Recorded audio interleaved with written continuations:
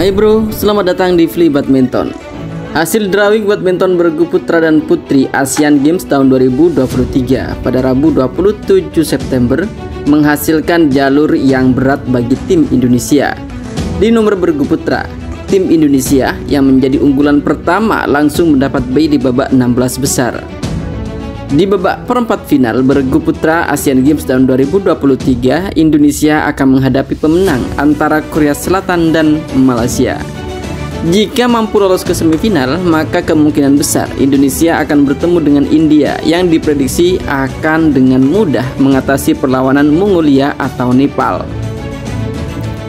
Cina yang merupakan unggulan kedua ada di jalur berseberangan dengan Indonesia. Cina diprediksi baru akan menghadapi lawan berat di semifinal antara Jepang atau Thailand.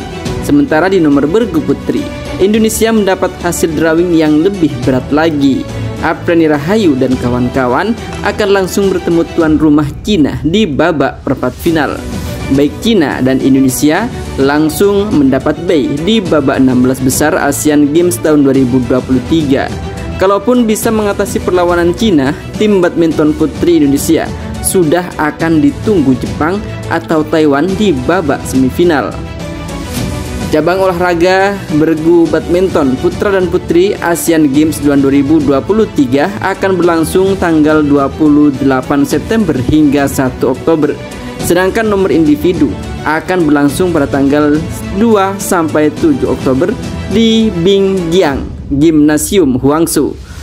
Empat tahun lalu di Asian Games tahun 2018, tim bergu putra Indonesia merebut medali perak usai dikalahkan Cina 1-3 di babak final.